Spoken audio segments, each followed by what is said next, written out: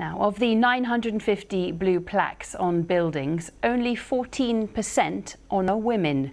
English Heritage is trying to redress the balance and a new one was unveiled today for the dressmaker Jean Muir. She made her name in the 60s and 70s, a favourite of the stars.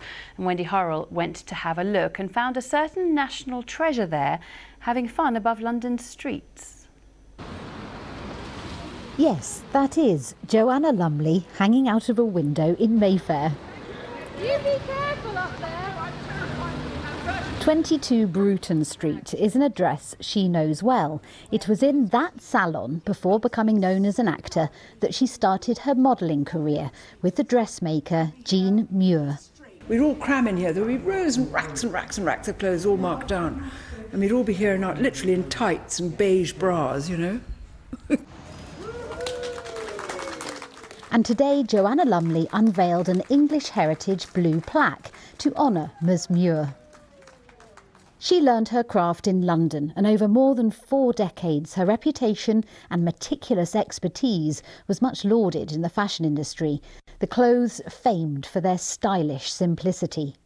Instead of adding, adding, adding, and somehow making it work, and some of the glorious contraptions we see walking, you go, holy smoke, all that and the garage too, walking down with so much stuff, you can hardly criticise it. With Miss Muir, it would just be the French thought she was a man. They thought her name was Jean Muir. And when she first turned up, they went, but it's a woman, it's a femme, it's extraordinaire. Oh, that a woman, because in those days, you know, French chauvinistic, couldn't believe that a woman would be able to be such a fine cutter and user of fabric, such a perfect dressmaker. And so Ms Muir takes her place in history, part of an effort to equalise the gender imbalance of people commemorated by a blue plaque. But there aren't very many women. And so to see Jean Muir up there with women, it's, it makes me so proud. What would she have thought of it?